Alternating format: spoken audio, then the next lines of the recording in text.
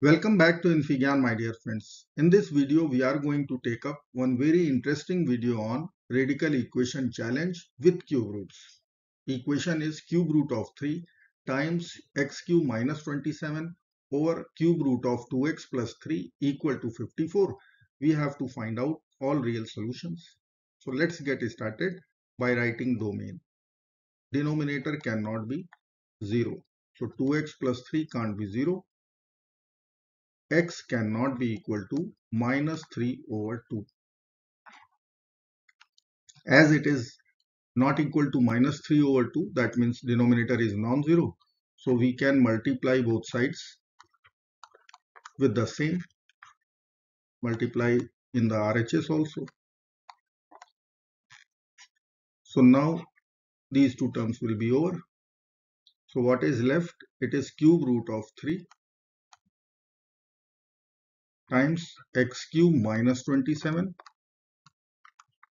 equal to 54 times cube root of 2x plus 3.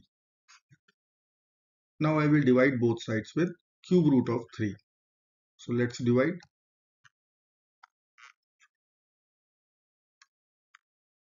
So these two cube roots will be over.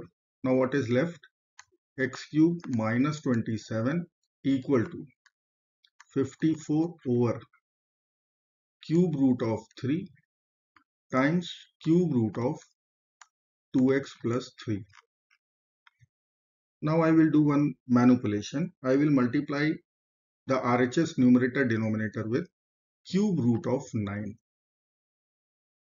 Cube root of 9. Now you can see cube root of 3 times in the denominator cube root of 9. So we can write it as cube root of 27 and 27 is 3 cube. So cube root of 3 cube. So it is 3. So our denominator this term will be 3. So I will be writing now x cube minus 27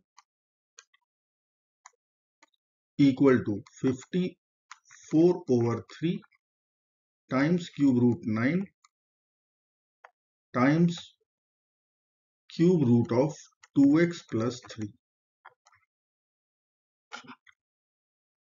Now 54 and 3. I will cancel these two by writing over there 18.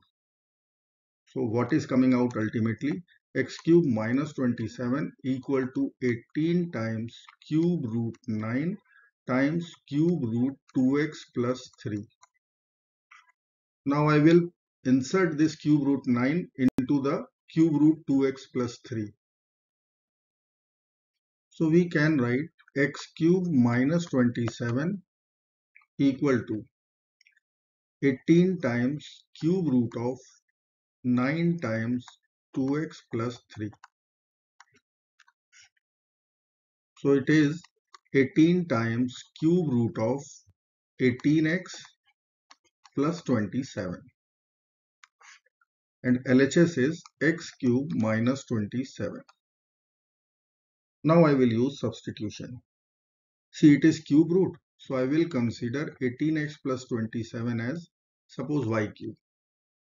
So let me write here y cube equal to 18x plus 27 or y cube minus 27 equal to 18x and what about this equation after substitution? So I will be writing x cube minus 27 equal to 18y. Now I will write this equation with the very first one. It is I will write y cube minus 27 equal to 18x. Now one system of equation. Equation 1 and equation 2. Take away second from 1 change of sign I will write x cube minus y cube equal to 18 times y minus x. Let's use the identity a cube minus b cube. So a minus b, a square plus b square plus ab. And if I will take all the term to one side, then I will be writing plus 18 x minus y equal to 0. sign change y minus x becomes x minus y. Now I will take x minus y overall common. So in bracket x square plus y square plus xy plus 18 equal to 0. So from here I can conclude either x minus y will be 0 or x square plus y square plus xy equal to minus 18. So two equations are there. We will solve both and remember our substitution is y cube is equal to 18x plus 27. Let's solve. So I will write x plus y. It was x minus y equal to 0. So x will become y from the first equation. And from the second equation, if I will write x square plus y square plus xy equal to minus 18. I will multiply this equation with 4. So I will be writing 4x square plus 4xy plus 4y square. I am writing y square plus 3y square equal to 18 times 4 72 now from first three term I can write it is 2x plus y whole square and second term 3y square equal to minus 72 now you can see squares addition is negative so no real solution we will be having here.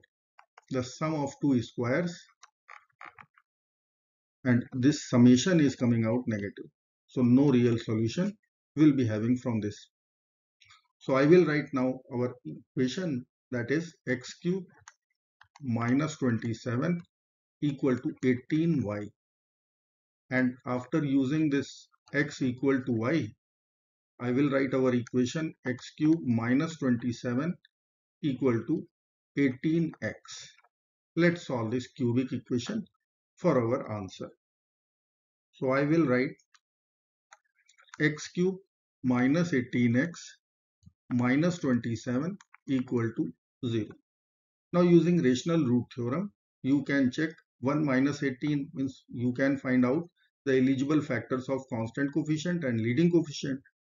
So if you will write the constant coefficients factor plus minus 1 plus minus 3 plus minus 9 and plus minus 27 so I can see the leading coefficient it is plus minus 1 so straight away we can start from plus 1 minus 1 so coefficients are not coming out 0 that equation is not coming out 0 so let's consider x is equal to 3 suppose.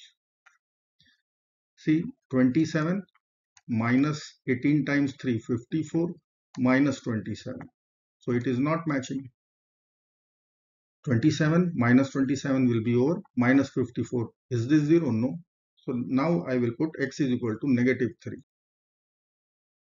x cube minus 18x minus 27 equal to 0 let's put x is equal to negative 3 minus 27 18 times 3 54 with plus sign minus 27 equal to 0 this time it is 0 so minus 3 is our base solution now I will use synthetic division method. I will write all the coefficients of this cubic equation. Coefficient of x cube 1 coefficient of x square 0 coefficient of x minus 18 coefficient of constant term minus 27